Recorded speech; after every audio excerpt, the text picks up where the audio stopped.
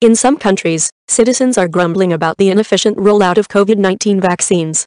It's unclear exactly when doses will be available. Websites for appointments keep crashing. Lines are long. And then there are the 130 countries that are yet to administer a single dose, according to UNICEF.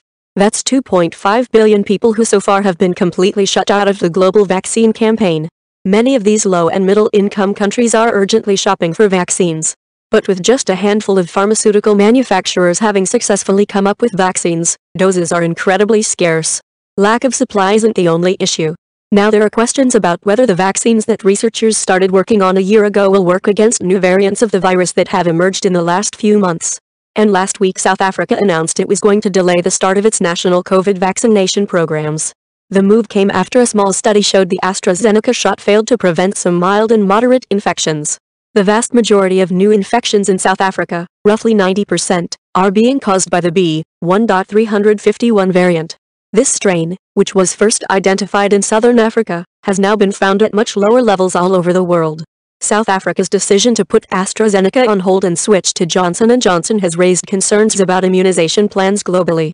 The AstraZeneca vaccine, produced by the UK-based pharmaceutical company and Oxford University, is currently the leading candidate to vaccinate people in low-resource countries. It's relatively cheap, doesn't need to be kept at super low temperatures and currently is being manufactured in plants around the globe. Nations have signed delivery contracts for more than 2 billion doses, nearly twice the volume being promised this year by the next leading manufacturer, Pfizer-BioNTech. Some countries, including Bangladesh and El Salvador, have only been able to secure contracts with AstraZeneca, not counting doses they hope to get from the COVAX program, which is acquiring various vaccines to share equitably among 190 economies worldwide.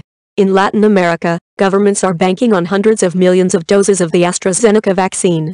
I think that there is a lot of concern, says Sergio Litewka, a professor of surgery and ethics at the University of Miami, about whether countries in Latin America are going to be able to get enough effective vaccine to inoculate their populations.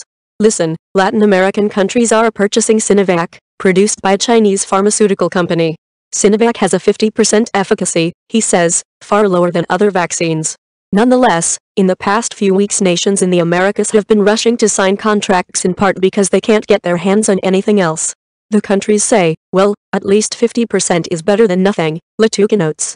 Trials of Sinovac's product in Turkey showed it to be up to 91% effective, but a more recent study out of Brazil found it to prevented infections only half the time. The World Health Organization's chief scientist Soumya Swaminathan says it's not just AstraZeneca product that is less effective against the new mutant strains.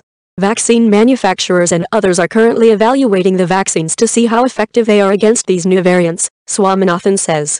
We've also seen from the studies of Novavax and J&J that their efficacy against the 501YV2 variant, the one originally found in South Africa, was reduced compared to the previous wild-type virus.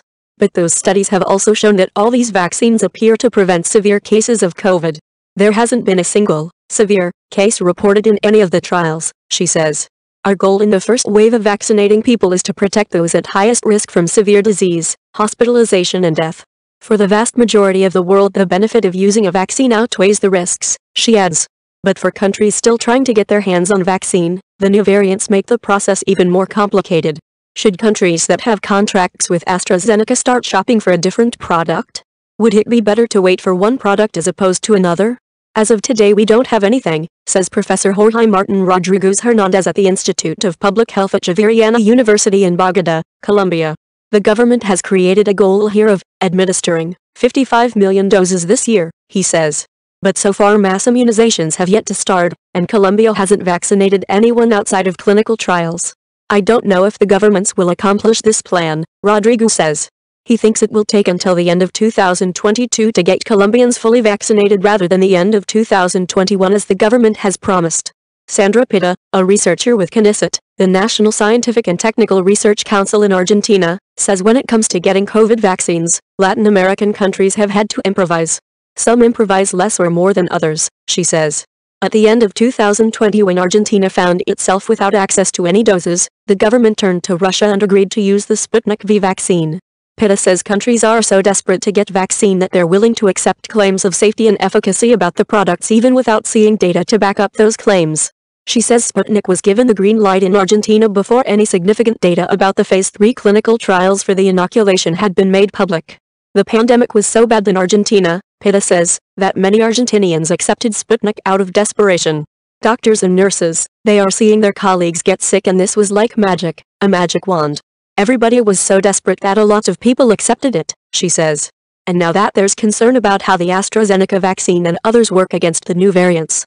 Pitta says Argentina has no information about whether Sputnik is effective or not against the mutant strains. Although the Russian developer of Sputnik says it's developing a vaccine that would provide immunity against all coronavirus strains. Pitta is skeptical. It's magic again, she scoffs, saying that this is just as opaque as Russia's original pitch that Sputnik is more than 90% effective. Where's the data? But faced with a pandemic that's already inflicted so much pain, and the prospect of vaccines being months or even years away, health officials in many countries are willing to go with whatever they can get. This article was originally published by Jason Beaubien for NPR on February 14, 2021.